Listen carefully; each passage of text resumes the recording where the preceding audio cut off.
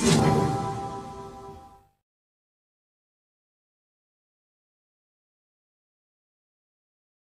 everyone. Today we will be looking at ducks. Ducks are a type of duck. Anyway, let's get on with it. To access ducks, we must use Google. Oh god, to access ducks we must use whatever the hell this thing is.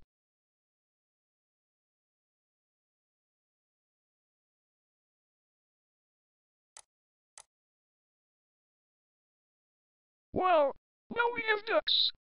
A little known fact is that if you click on the next page you get more ducks.